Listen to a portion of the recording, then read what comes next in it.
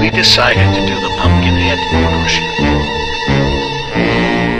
If you go down in the woods today, you're sure of a big surprise. If you go down in the woods today, you better go in disguise. For everybody